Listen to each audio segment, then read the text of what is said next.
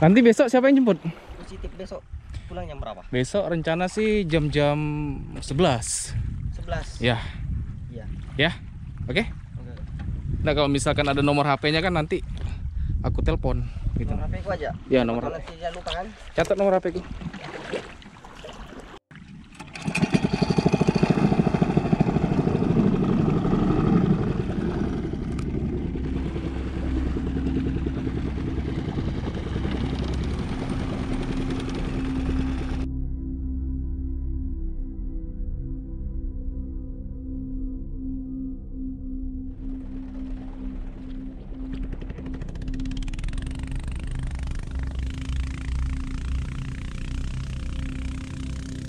Sekarang aku lagi berada di sebuah pulau yang tidak begitu jauh dari kotaku. Nah, dan rencananya hari ini aku akan coba camp di sini sekaligus mengeksplor tempat ini. Jadi sebenarnya sih ini bukan pulau. Kalau di peta sih eh, lebih ke tanjung. Nah, jadi estimasi dari sini dari kampung ke sini itu sekitar 30 menit. Ini sekedar informasi aku lagi berkolaborasi dengan Roda Kosmet untuk berdonasi mengkampanyekan eh, bersama lindungi hutan dengan cara penanaman satu juta pohon untuk Indonesia. Dan apabila teman-teman mau ikut juga berpartisipasi, caranya gampang nih. Jadi cukup beli salah satu produk kosmet yang berlabelkan lindungi hutan dan siap human. Nah, jadi secara tak langsung eh, sebagian dari eh, pembelian itu eh, otomatis ditanamkan untuk satu bibit pohon. Nanti linknya akan aku cantumkan ya di description. Sekarang waktunya berpetualang. Nah jadi tempat ini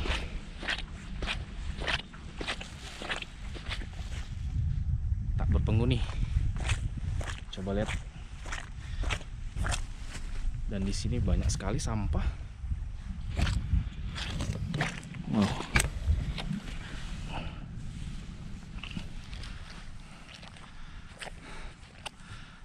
Oke, jadi sekarang jam berapa nih? Sekarang jam 4. Jadi kita akan cari tempat yang agak bagusan buat mendirikan camp. Mungkin daerah sebelah kanan sana.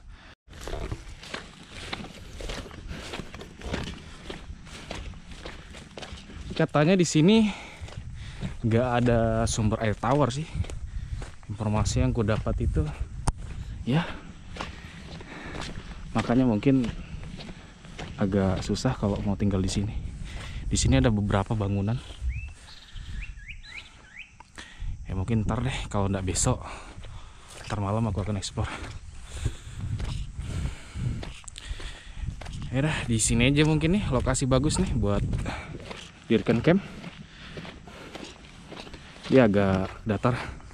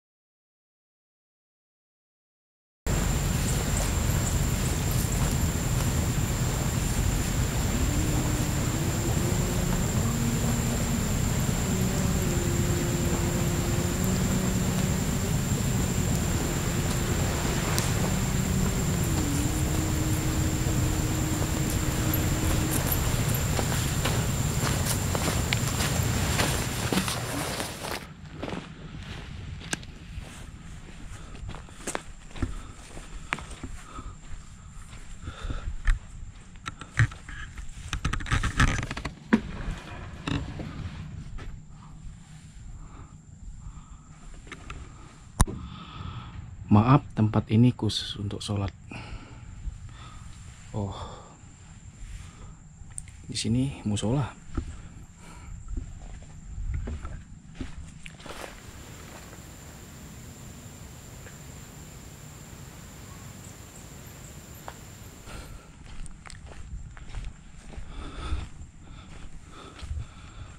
Ada speed guys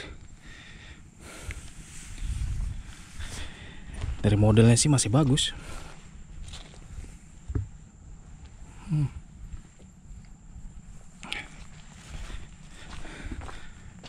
nah jadi sore tadi itu aku sudah ya lihat-lihat deh survei eh, sampai ke sini dan saya lihat ada beberapa bangunan yang kayaknya tidak ditempati. Dan ini salah satunya. Ini sepertinya eh, tempat pertemuan ya kayak aula gitu. Coba deh kita naik.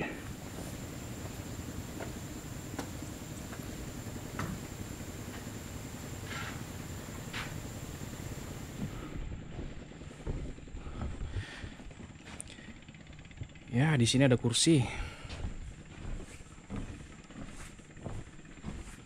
Ada beberapa kursi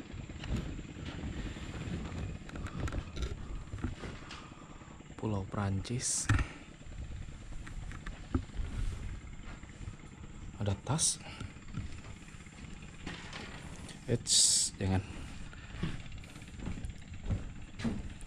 Ya jadi sebenarnya aku ini bukan mau ekspor misteri tapi aku mencari sumber air. Katanya sih di sini ada gitu loh tampungan air. Nah kayak gini nih.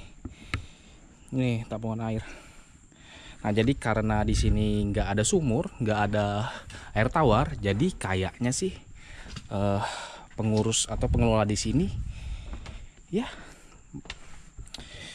menyimpan air dari air hujan. Tetapi aku penasaran dengan rumah-rumah yang ada di sana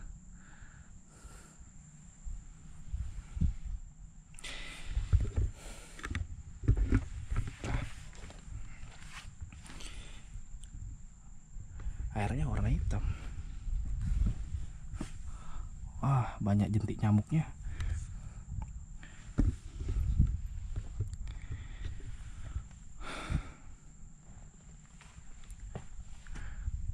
Air 10.000 per ember.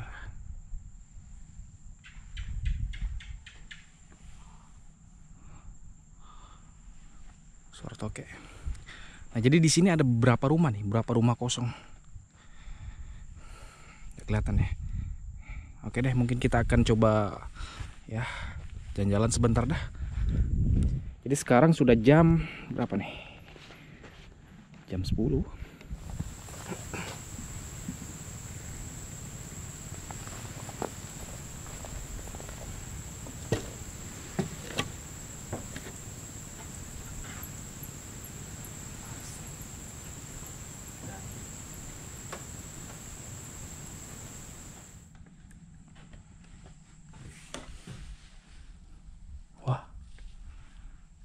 tempat bagus. Jadi kalau misalkan aku kehujanan, mungkin aku bisa tidur di sini. Ada AC-nya cuma nggak ada listrik dan AC-nya juga baru ini. Tutup lagi. Bisa dibuka. Assalamualaikum.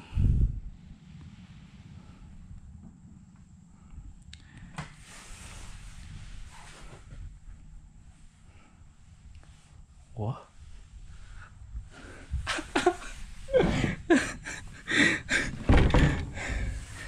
Di sebelah sana ada lagi satu. Jadi sepertinya pulau ini resort ya. Sini WC. WC-nya di sini tapi sumber air nggak ada.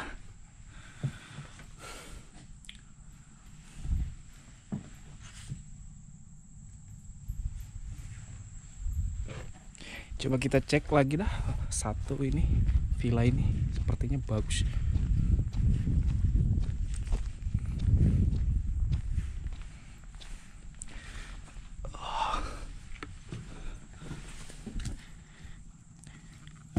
Ada isinya satu ada isinya.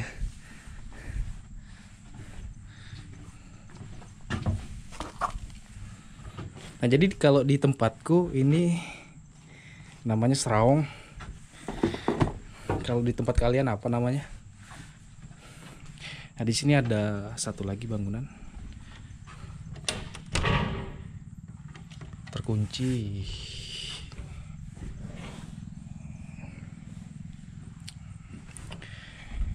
Oke. Ayo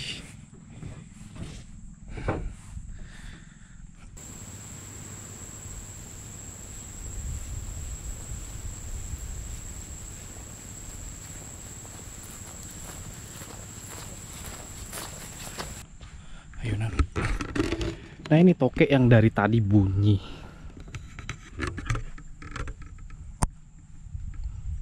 Main besar ya banyak tokek sepertinya di sini.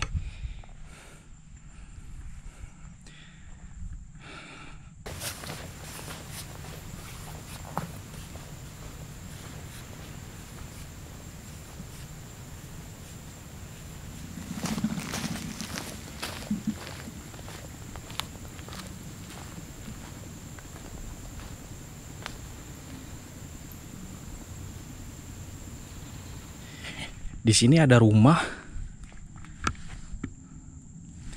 dan tidak dipakai. Assalamualaikum.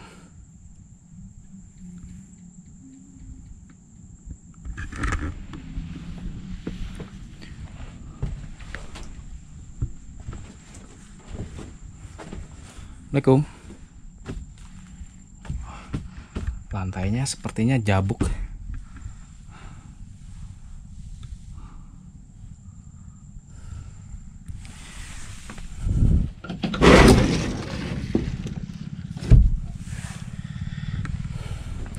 Nah di sebelah kiri ada lagi rumah satu. Udah kelihatan ya. Oke deh kita coba cek ke sana.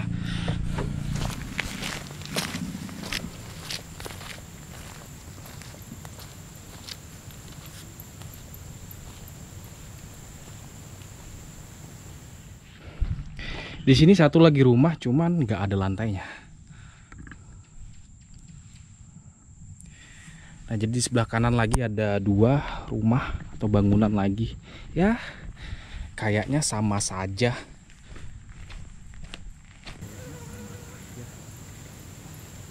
Rumah ini nggak berlantai. Dan ini rumah juga satu.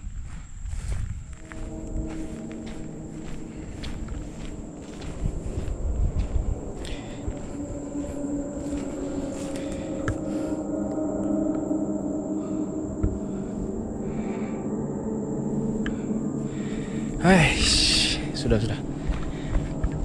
Ya, gimana ya? Ya sebenarnya sih apa? Ya kalau kupikir sih ya, kalau misalkan hal-hal yang berbau gaib atau eh, ya mistis, ya sebenarnya di setiap tempat sih ada. Cuma kan ya kita hargailah. Ada yang menghuni dan kita sebagai eh, pendatang ya sebagai tamu. Karena di setiap karena di setiap tempat ya pasti ada tuan rumahnya.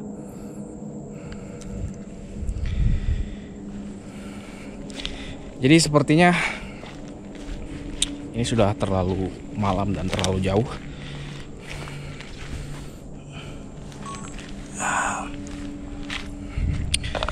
Oke nya aku harus kembali ke camp karena di sini channel ini bukan channel konten ya tahulah. Nah, jadi sebenarnya aku hanya mau mengambil air di sini untuk bersih-bersih. Oke lah kalau gitu. Kita balik aja ke camp.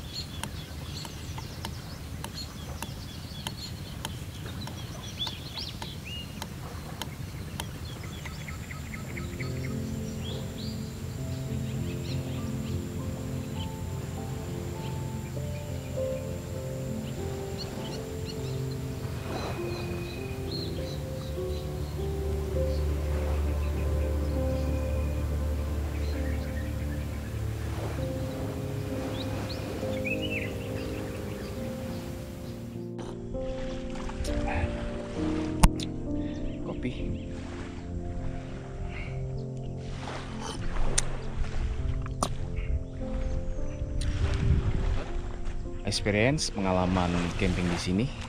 Ya, kalau misalkan kalian yang dari Sangatta, dari Samarinda mau camping di sini, nah jadi mempunyai dua akses. Pertama akses lewat Teluk Lombok, terus yang kedua bisa menggunakan kendaraan bermotor lewat sini dulu. Cuma jalannya tidak begitu bagus, jadi tidak direkomendasikan untuk menggunakan motor. Nah jadi dari kampung kemarin itu sekitar 30 menit. Menggunakan perahu. Terus bayarnya ya paling enggak 50.000 100 Kayaknya 100 deh. Nah jadi ada beberapa hal yang harus dipersiapkan apabila mau camping di sini. Jadi pertama di sini nggak ada sumber air